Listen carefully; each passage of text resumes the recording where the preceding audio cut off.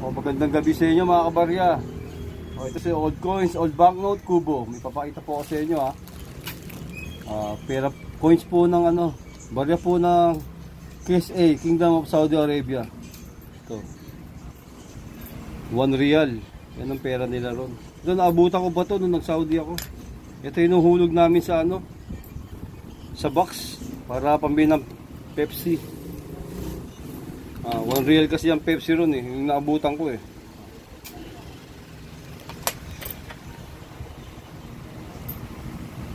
Doon ako sa ano sa sa Jeddah, sa Atlas Ocean Limited.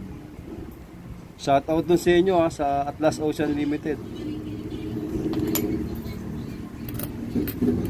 Yan. 50 halala. Ito 50 halala.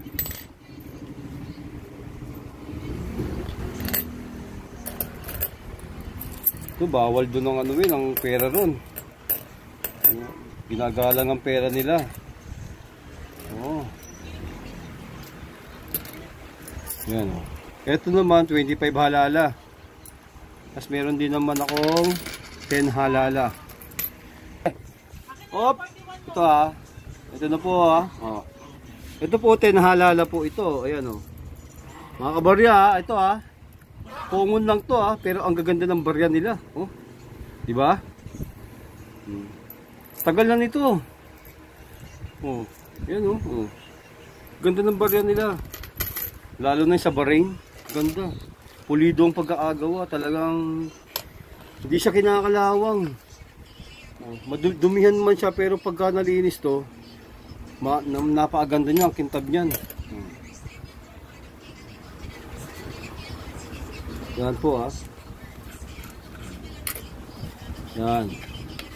Ito, 1 real. Ito, 50 halala, 25 halala, 10 halala. Yan. Yan po ang pera po ng United ano, Kingdom of Saudi Arabia. Sorry, sorry. Kingdom of Saudi Arabia po. Yan. Ito po si old coins, old banknotes, kubo. Bye!